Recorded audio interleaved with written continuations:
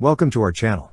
Don't forget to subscribe and put likes, because your support is important for us. And here we go. The Belarusian Ministry of Defense unveiled the latest addition to its aerial fleet with the arrival of four new Mi-35 helicopters at the Machulishchi airbase.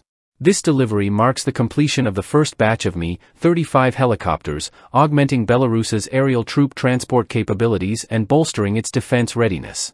Originally introduced in 1974 and affectionately known as the Hind by NATO and the Crocodile by enthusiasts, the Mi-24 helicopter underwent extensive modernizations over the years to evolve into the advanced Mi-35M variant.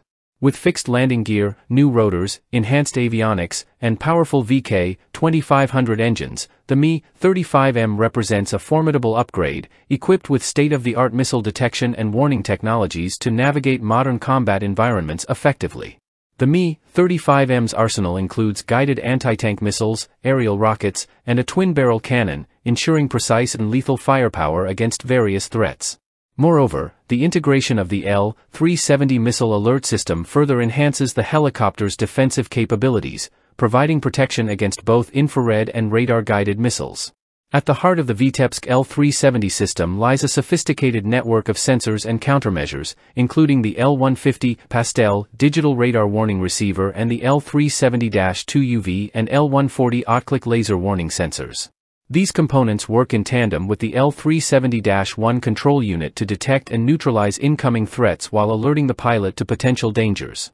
The Mi-35M's versatility extends beyond combat operations, as evidenced by its role in aerial transport during the Battle of Gostomel Airport in February 2022.